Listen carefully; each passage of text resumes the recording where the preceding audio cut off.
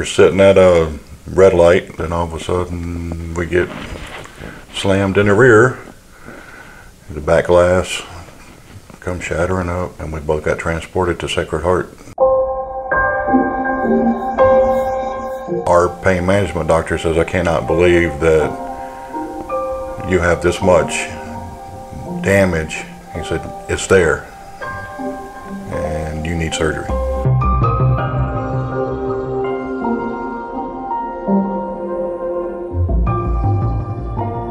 We're suffering.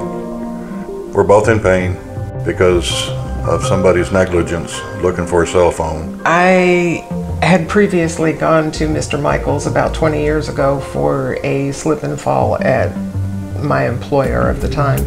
I was impressed with his military background and his demeanor. He served our country. We figured he would be a good call to serve us.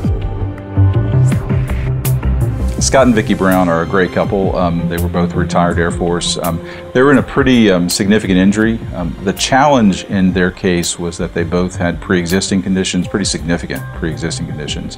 And usually what an insurance company will do when that happens is they will try to blame everything on the priors and say that the car accident is not either the cause of the current need for treatment um, or any future treatment. It was very important because unless you know the right question to ask of the right person, sometimes you don't get all the answers and the information. When you take someone who is quality, they know the right people to call, the right time to call them, and the right questions to ask.